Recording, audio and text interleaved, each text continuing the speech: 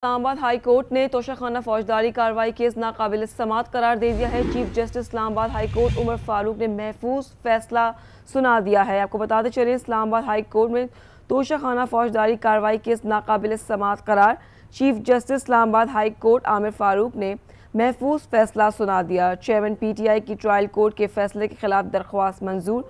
Trial court ने chairman PTI के खिलाफ ट्रायल काबिल समात करार दिया था। आपको बताते चलें इस्लामाबाद हाई कोर्ट ने तोशाखाना फौजदारी कार्रवाई केस नाकाबिल समात करार दे दिया है। Chief justice Islamabad high court Aamir Farooq ने महफूज फैसला सुना दिया है। इस्लामाबाद हाई कोर्ट ने तोशाखाना फौजदारी कार्रवाई केस नाकाबिल समात करार दे दिया। Chief justice Islamabad high court Aamir Farooq ने महफूज फैसला सुना दिया है।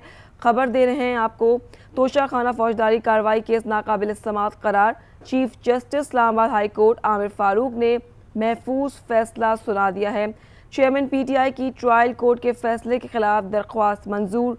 ट्रायल कोर्ट ने चेयरमैन पीटीआई के खिलाफ ट्रायल काबिल समात करार दिया था। Chief justice Islamabad high court Aamir Farooq ने महफूज फैसला सुना दिया है। मजीद तफसीत जान लेते हैं उस्मान से। जी उस्मान, बताइएगा।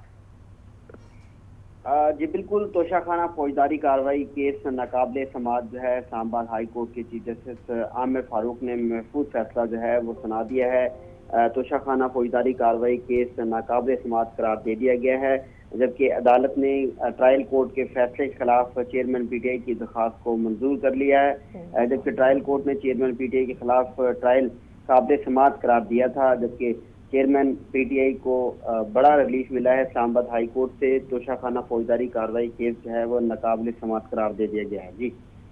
जी, बहुत शुक्रिया उस्मान। हमें तमाम तफसीत से आगाह करने के लिए।